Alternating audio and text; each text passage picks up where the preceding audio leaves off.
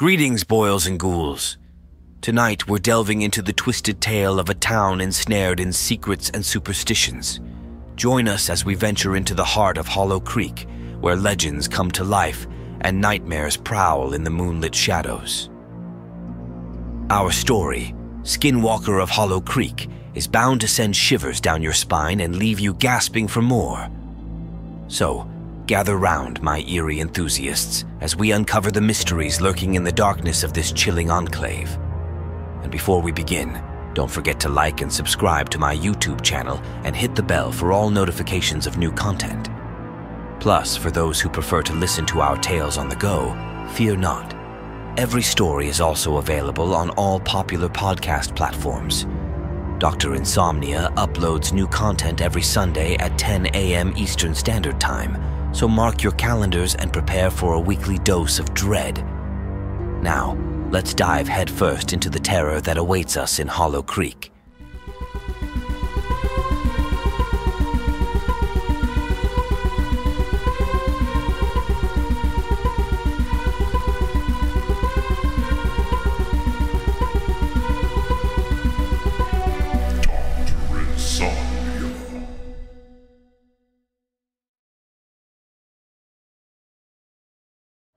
Ah, welcome, dear fiends, to a tale most macabre and chilling, spun from the darkest corners of the mind of Dr. Insomnia.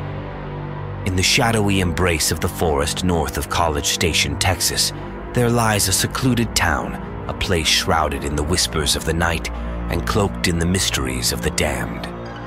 This town, known to the unfortunate souls who dare reside within its bounds as Hollow Creek, harbors secrets darker than the deepest grave. Settled in the accursed 1800s, Hollow Creek is a town not just founded on soil, but on the very superstitions and legends that make your spine tingle with fear. The creek from which it derives its ominous name meanders through the town like a serpent, rumored to be cursed by forces beyond our comprehension, its waters as murky as the history it hides. Despite the semblance of quaint charm, with its feed store leading the townsfolk in an Easter parade as if to mock the shadow of death that looms over, and a clothing store selling handmade dresses and vintage retro clothing to the younger crowd, a sinister mystery pervades the air. Laughter and light-hearted banter, mere facades for the darkness that dwells in the heart of Hollow Creek.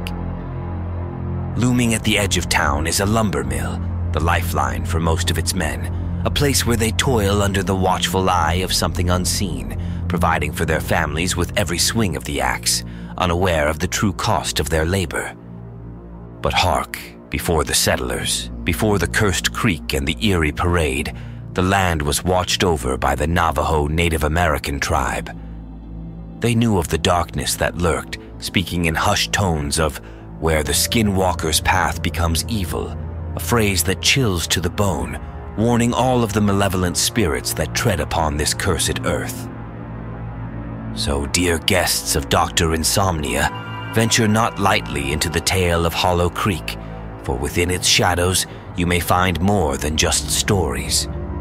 You may find a reality from which there is no waking, a nightmare that clutches your soul with icy fingers.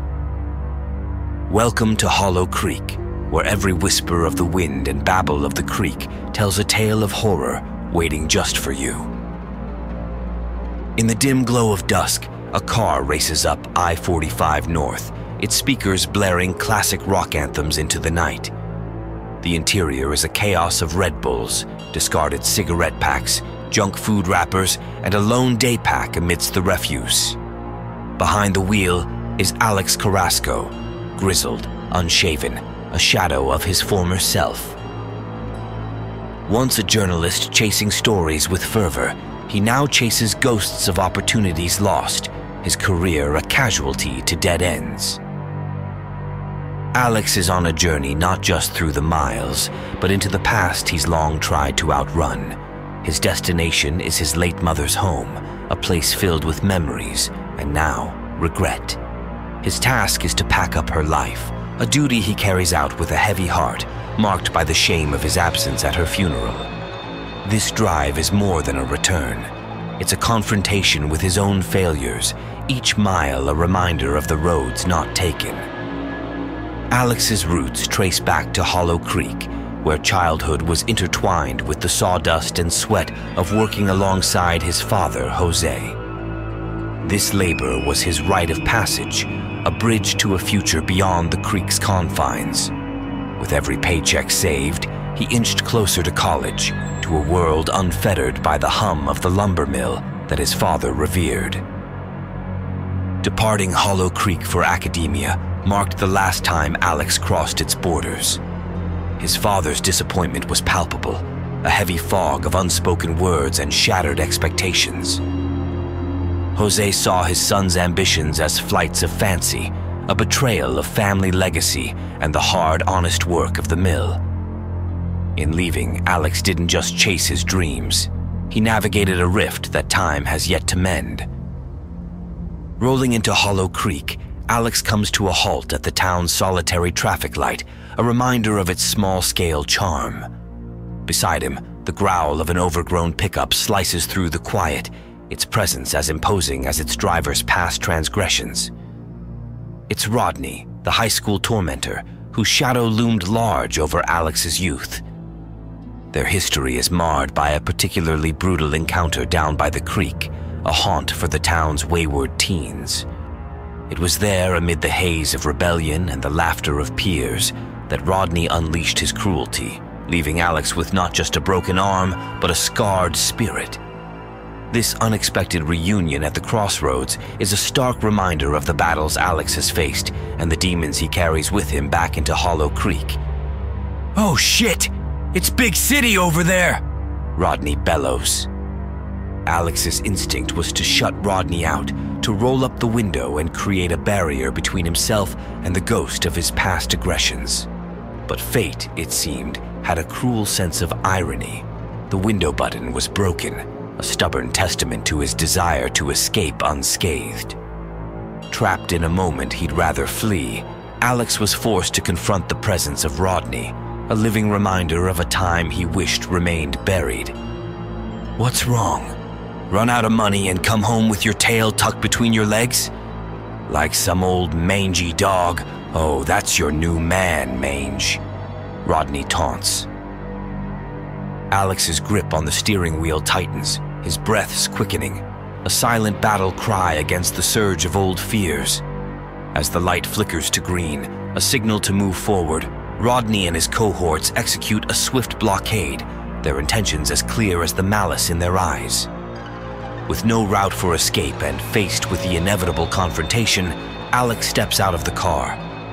In this moment, he stands not just on the asphalt of Hollow Creek, but at the crossroads of facing his past aggressions head on. I don't want no. Alex's words hang in the air, a plea left unfinished as the sudden wail of a police siren slices through the tension. The scene is abruptly joined by Sheriff Langley, Jim Langley, a familiar face from Alex's high school days and a friend amidst the foes. The timely arrival shifts the dynamics of the confrontation, introducing a glimmer of hope for Alex in an otherwise dark tableau. Boys, we got a problem? Langley asks. No problem, Sheriff, Rodney asserts with a grin, his demeanor shifting seamlessly to one of innocence, as if the air between them held no tension, no malice. This charade, a thinly veiled attempt to mask the aggression just moments from eruption, paints a picture of calm where there was none, a performance for the benefit of authorities' watchful eyes. Just wanted to say hi to my old buddy, Rodney claims, his tone dripping with feigned camaraderie as he and his posse retreat to their truck. As they make their departure, a moment of silent communication passes between Alex and Rodney. With a wink and a laugh, Rodney's mockery is clear, a taunt carried on the breeze as he drives away, leaving Alex in the wake of a confrontation averted yet deeply felt. Man of all the people I thought I would see, Jim gives a bear hug to his old buddy. Thanks, man. I'd like to say it's good. Alex begins, his gratitude mingling with the weight of unspoken emotions, but he's cut off by Jim's interjection. No need. We all love Jenny. Your mama was the best, Jim interjects, his words a balm to the wounds of Alex's guilt and grief. The exchange, brief yet meaningful, culminates in a handshake, a gesture of mutual respect and shared sorrow. After a moment of connection in the midst of Hollow Creek's silent streets, they part ways, each to his own journey. Alex, with a heart heavy yet lightened by the encounter, turns towards his mother's house, stepping into the echoes of his past one last time. Later that night, Alex seeks solace in the amber glow of whiskey, the haunting melodies of Kind of Blue filling the air, a tribute to his dad's favorite record. As he attempts to unwind, to let the day's tensions dissolve into the music and the night, a subtle, unmistakable sound intrudes upon his solitude, the creaking of the porch outside. Hey, must be the house, he muses, attributing the noise to the age of the building. His parents had inherited it from his family, a legacy dating three generations back. The creaking pierces the silence once more, prompting Alex to set his glass down and approach the door, a bridge between the sanctuary of his home and the unknown of the night. As he peers into the darkness, finding no one, the moment hangs suspended, a whisper of history in the quiet. With a shrug, Alex retreats from the threshold, leaving the mystery of the empty porch behind as he steps back into the echoes of his family's past. Probably the whiskey, he laughs to himself. Then comes the unmistakable sound of scratching at the door. With a swift turn, Alex's curiosity transforms into action as he jerks the door open, bracing for an encounter. Yet, what greets him is not what he expects, but rather the absence of anything at all. No cause for the sound, no explanation for the disturbance. This eerie silence, where anticipation meets emptiness, adds another layer to the night's unsettling mystery. Jesus, go to bed, Alex says to himself, shaking his head. Overcome by the night's strangeness and the weight of his return, Alex stumbles to his room, succumbing to sleep's embrace the moment his head meets the pillow. The veil of slumber, however, is thin Later, his eyes flick open, a silent ceiling greeting his gaze. As he shifts his view towards the bathroom door, a black silhouette arrests his attention, a figure distinct yet indistinct, rooted in the shadows. Yet, Alex's heart does not race with fear. There's an inexplicable calm in his veins. Approaching with a hand that seems to breach the darkness with a soft, glowing light, the figure draws nearer. And then, as it leans closer, a visage comes into focus under the halo of its luminance. His father. Not just any memory of him, but his deceased father, standing there as if time and the finality of death had loosened their grip. Why weren't you there? You could have helped, the figure speaks, its voice a blend of sorrow and accusation. In a haunting gesture of intimacy and reprimand, it reaches out, scratching Alex's face with its nails, a touch that conveys a deep-seated anguish and a longing for what could have been. This spectral encounter, bridging the realms of the living and the departed, leaves Alex in a moment suspended between confrontation and revelation. Alex jerks awake, a sudden rush pulling him from the depths of his nightmare into the stark, sweat-drenched reality of his room. With his heart pounding, he stumbles to the bathroom in search of solace in a simple glass of water. Yet, as he glances at the mirror, a routine double take morphs into disbelief. There, on his face, is a scratch, a tangible mark that blurs the lines between the nightmare's fiction and his waking world, leaving him to question the boundaries of his own reality. What the hell? Alex mutters, his voice a mix of confusion and alarm. He rubs the side of his face, leaning closer to the mirror for a better look. The scratch, undeniably real and inexplicably present, stands as a stark reminder of the nightmare's visceral grip on him, challenging the norms of what should be possible in the waking world. The next morning, amidst the task of packing, a knock at the door interrupts Alex's focused solitude. He opens it to find Lydia standing there, a figure from his past enveloped in the light of the present day. She was his high school flame, a person intertwined with memories of youth and what might have been, now standing on his doorstep, bridging years of silence with a single unexpected visit. I waited as long as I could, Lydia says. Waiting on what? Alex asks. Waiting on you to actually call or something. I don't know, Lydia shrugs. He smiles awkwardly and looks down. I'm not back. I'm just packing up the house and selling it, Alex offers. Lydia looks down and smiles, now the awkward one. Have you eaten? Lydia asks.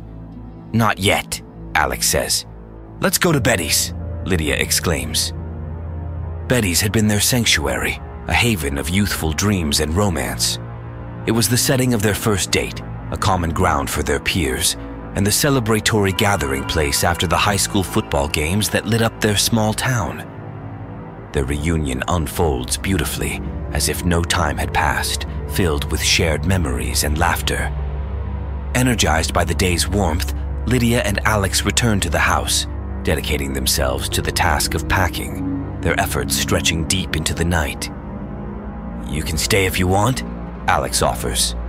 Lydia grins. A little presumptuous of you, don't you think? I'll take the couch, he says. They both laugh, and she smiles. That night, as both succumb to the exhaustion of the day, the silence is pierced by an ethereal sound. Lydia stirs, her sleep disturbed by a voice emanating from the porch. It's soft, almost imperceptible, akin to a high, squeaky whisper that seems to dance on the edge of reality. At the same moment, Alex is jolted awake from his makeshift bed on the couch. Lydia emerges from his parents' bedroom, drawn by the curious sound, their paths converging in a shared moment of nighttime vigilance. Do you hear that? Alex asks. Yeah, I thought it was just me, Lydia says. Alex, propelled by a mix of apprehension and curiosity, makes his way to the door with a cautious eye, he peers through the peephole, expecting perhaps a shadow of the night or a trick of the light. Instead, what he sees grips his heart with a chilling clarity. It's his mother, his dead mother standing on the porch, as real and as present as the night around him. Let me in, Alex. I've lost my key, she says. He turns to Lydia, his eyes wide with a mix of sheer terror and confusion. The sight before him, unbelievable and haunting, has rendered him speechless, seeking in Lydia's gaze a semblance of understanding, or perhaps a confirmation that he's not alone in this moment of surreal encounter. Yes, I heard it too. That's not your mother. I went to the funeral. It was open casket. I know it isn't her. Lydia gasps. Alex! Alex! Please let me in. Alex! Are you there? Go away. You are not my mother. Alex, why didn't you come to my funeral? Lydia and Alex stand motionless, a paralyzing fear enveloping them both. In this shared moment of dread, they are united, each grappling with the surreal and terrifying reality before them, unable to move, speak, or react. Alex? The voice, initially so familiar, twists into something unrecognizable, a distortion that chills to the bone, making it undeniably clear. This thing was not his mother. Armed with a resolve hardened by fear, Alex returns, clutching a butcher knife with a trembling hand. With a swift motion fueled by both desperation and hope, he jerks the door open, only to be met with nothing. The porch lies empty, the night silent once more, as if the encounter were nothing but a shared hallucination. He closes the door, the finality of the action doing little to ease the tension that clings to the air. Together, they spend the rest of the night awake, their conversation sporadic, punctuated by stretches of silence. Each is wrapped in their own disbelief, grappling with the reality of what they both heard, a shared experience that defies explanation. The next day finds them at Betty's, a place once brimming with memories of simpler times, now a quiet refuge for two souls unsettled by the night's eerie events. They sit together, cups of coffee in hand, their appetites lost to the shadows of disbelief and fear. The familiar faces of the Hollow Creek Police Department are there as well, a semblance of normalcy in a world that feels anything but. It's in this muted atmosphere that Jim Langley, a bridge to both past and present, approaches and takes a seat at Lydia and Alex's table, his presence a silent acknowledgement of the unspoken tensions that hang between them. So I guess you guys know? Langley says. Know what? Lydia asks. Rodney and all his boys. All dead, Langley whispers. What? Jesus Christ, Alex exclaims. Yeah, we're not really sure. Looks like some animal attacked them. We don't think it was an animal in some ways, though. They were all attacked inside their own trailers. They all had claw marks that each either had four or five marks in them. The coroner speculates the one missing intermittently looks like a thumb. Most animals don't have thumbs like that, Jim offers. I have to ask, Alex, due to your relationship with Rodney and the boys, where were you last night between 11 p.m. and 4 a.m.? Lydia interrupts. I was with him at his mom and dad's place, helping pack. Oh, Jim says awkwardly. We were packing the house up to sell, Alex says. Yeah, packing. Langley leans back, slightly grinning. Lydia rolls her eyes, laughing. Lydia and Alex wrap up their quiet contemplation at Betty's and make their way back to the house. As they draw near, a chilling detail arrests their attention. The door bears marks unmistakable in their intent. Five claw marks etched into the wood. With a single look exchanged between them, no words are necessary. Both understand the grim significance of this sign, a tangible echo of the night's terror, silently affirming the reality of their shared fear.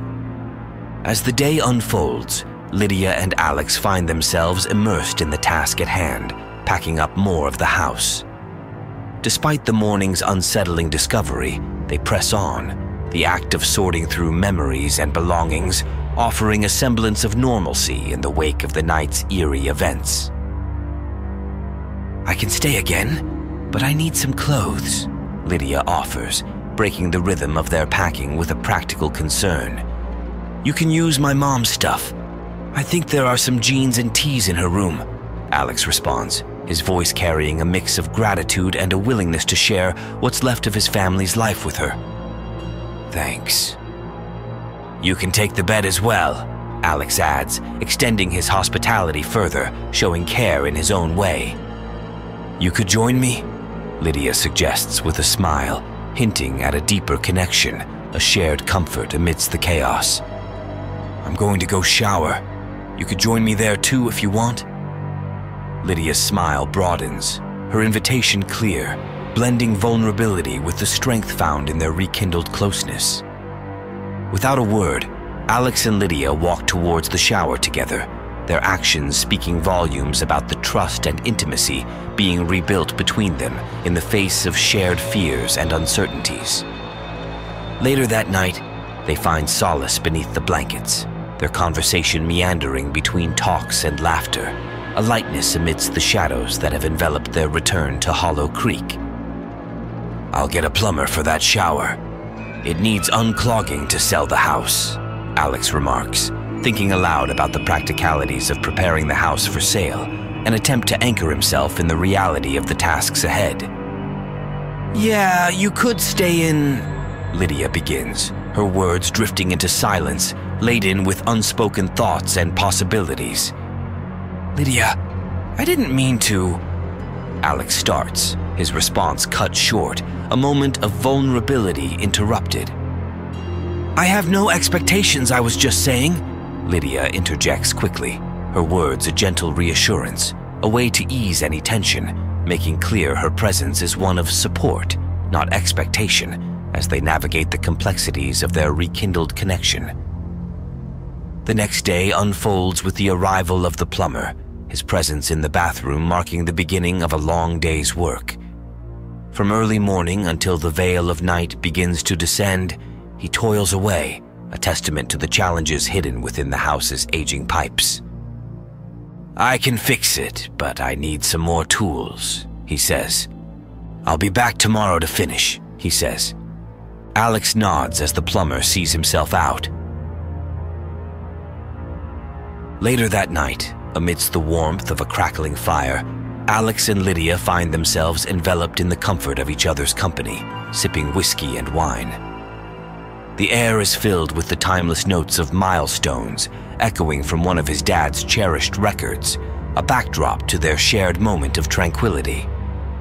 Suddenly, the serenity is broken by a knock at the door. I'm back to fix your shower, announces the voice from outside, unexpected and out of place in the late hour. He said he wouldn't be back until tomorrow, Alex responds with a shrug, perplexed by the untimely return. He sounds weird, Lydia observes, a hint of unease coloring her words. He's probably drunk. It's late. Alex laughs it off, trying to dispel the tension with humor, yet the oddity of the situation hangs in the air, an unsettling interruption to their peaceful evening. Alex approaches the door, curiosity and caution mingling in his steps. Upon opening it, he's met with the plumber's figure looming at the threshold, an odd hesitation marking his entrance. With a welcoming gesture, Alex invites him in, unaware of the looming dread. Come on in, man, he says, a simple invitation that quickly spirals into chaos. As the figure steps into the light, Lydia's scream pierces the night, a chilling prelude to horror unveiled. The plumber's right hand, no longer human, brandishes five elongated claws, a nightmarish transformation. He lunges towards Alex, who narrowly escapes the swipe, instinctively darting towards the kitchen. Run, Lydia! Alex's voice is a mix of fear and urgency, a desperate plea as the night turns from tranquility to terror. Armed with a butcher knife, Alex faces the monstrous intruder, determination fueling his defense. With a swift motion, he slashes, tearing through the man's coverall sleeve and into the flesh beneath. The fabric gives way to reveal not skin, but a gray-brown hide, oozing black at the site of the wound. The creature's response is a deep, primal roar, a sound no human could produce as it throws its head back in anguish. Alex aims another strike, but the creature, with an agility that belies its form, evades and flees into the enveloping darkness of the night, leaving behind a trail of unanswered questions. The open door serves as its escape, swallowing it whole into the night's abyss. Alex stands, knife still in hand, dripping with the creature's black ichor as the Hollow Creek Police Department arrives, summoned by Lydia's quick thinking. Officers disperse, combing the area for any sign of the assailant. Sheriff Langley makes his way to the porch where Alex and Lydia have sought refuge in the aftermath. Their silhouettes, shadowed under the porch light, paint a picture of resilience in the face of unimaginable terror. You two okay? Langley's voice cuts through the lingering tension, a welcome presence in the aftermath of chaos. They nod in unison, their silent affirmation belying the turmoil still gripping their minds. Do you think it was who got Rodney? Langley probes, seeking insight into the night's horrors. Yes, Alex whispers, haunted by the echoes of terror that still reverberate within him. What got Rodney? Lydia interjects, a correction that highlights the gravity of their situation. Langley's response is a measured silence, his gaze shifting briefly over his notepad, absorbing the weight of their words without comment. It had claws on its right hand, Lydia offers, her voice trembling with the memory of the creature's grotesque features. It was probably a glove. You guys are in shock, Langley offers, attempting to rationalize the inexplicable with a dose of practicality. How do you explain that stuff over there on the knife?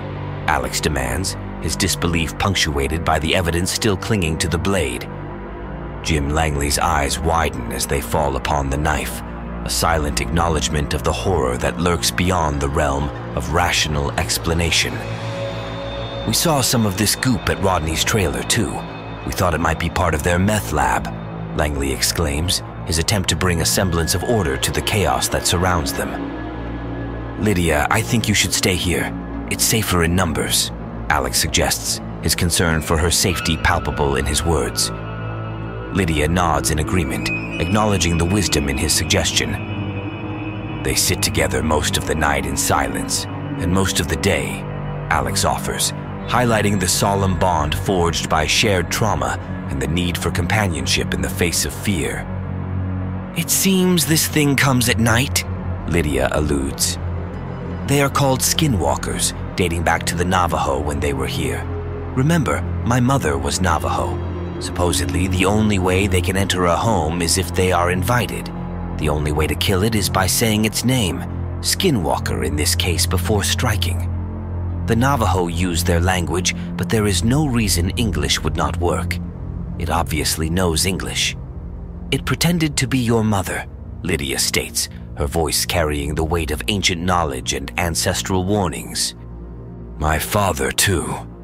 It was in my dreams, Alex adds, a shiver running down his spine as he points to the scratch on his face. Lydia nods solemnly. They work their prey in their dreams first to try to lure them out of the house. If you had left looking for him, it would have killed you that night. Alex stares at her in terror and silence, the gravity of her words sinking in. Why didn't you tell Langley about all of this?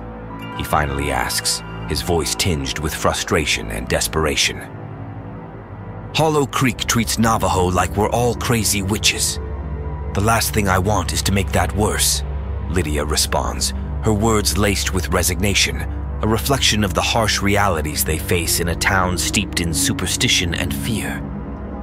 Alex nods in silent agreement, a sense of determination settling over him as they brace themselves for whatever may come next. Another knock at the door draws their attention, and Alex's gaze shifts to Lydia, who now holds his father's double barrel 12 gauge shotgun, a symbol of their readiness to confront the unknown. With a shared resolve, Alex moves to open the door, his eyes meeting Langley's as the barrier between them gives way. Without a word, Langley acknowledges Lydia's preparedness, a silent nod of understanding that speaks volumes. Seeing this, Lydia lowers the shotgun, the tension in the room easing slightly as they await the next twist in their harrowing ordeal. Just wanted to check on you guys before I head home. Everything good? Langley asks, his gaze lingering on Lydia, who still holds the shotgun, a striking image juxtaposed against the backdrop of the cowboy sheriff hat he holds in his hand. Just then, the tranquility of the moment is shattered by the sudden intrusion of blue and red lights flashing through the windows. The shrill blare of a bullhorn from one of the cars outside jolts them into a heightened state of alertness, a stark reminder of the outside world's intrusion upon their sanctuary. Lydia, Alex, that is not me, Langley's voice reverberates from outside, amplified by the bullhorn's blare, a proclamation that cuts through the chaos like a clarion call. The urgency in his tone is palpable, a plea for understanding amidst the confusion that grips them all. Lydia, her resolve unwavering, raises the gun once more, its weight a testament to the seriousness of their situation. With a steady hand, she holds it aloft, a silent declaration of their readiness to defend themselves against whatever may come. I don't know what is going on, but obviously I am me. Inside, Langley chuckles, his attempt to lighten the tension palpable even through the bullhorn's distortion.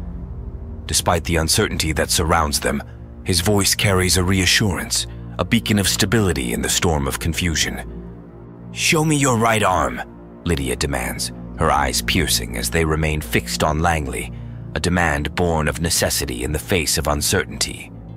Come on, Lydia, he protests, a note of urgency in his voice as he tries to dissuade her from her demand. Show me! she yells, her voice rising with determination, fueled by the need for answers in the face of danger. Alex, all the while, holds the butcher knife in hand, his grip tight with readiness. Reluctantly, Langley raises his sleeve, revealing a scar, a detail that only serves to deepen the mystery surrounding him. I knew it, she declares, her voice firm as she points the shotgun directly at him, her resolve unyielding. Alex, you know when I got that? It was when. He is interrupted by Lydia's piercing scream. Skinwalker, she cries out, her terror evident as the creature reveals itself, a sinister transformation that defies comprehension. With lightning speed, two buckshots ring out, tearing through the creature's chest and cutting it in half. Langley, now gone, leaves behind a whitish gray goblin like creature in his place, its upper torso struggling to crawl towards Alex. In a desperate act of survival, Alex yells, Skinwalker! as he drives the knife into its brain, silencing the creature's screams once and for all. At that moment, Langley and two deputies approach the doorstep, guns drawn. They gently take the shotgun from Lydia, who is in shock, and escort Alex and Lydia out to the front yard for their statements. Guys, I'll bury this. No need to go through the persecution of being accused of lying or making up some crazy story. I believe you guys. I saw it, and even I am having a hard time believing it. It was an animal attack. That's it, that's all, Langley affirms with wide eyes and nodding, expecting agreement. Lydia and Alex make eye contact and nod, holding back tears, a silent understanding passing between them. Thank God it's over, Alex whispers, relief evident in his voice. Lydia looks down, holding in a whimper, her composure wavering under the weight of the ordeal they've just faced. They always travel in packs, Lydia whispers. Always.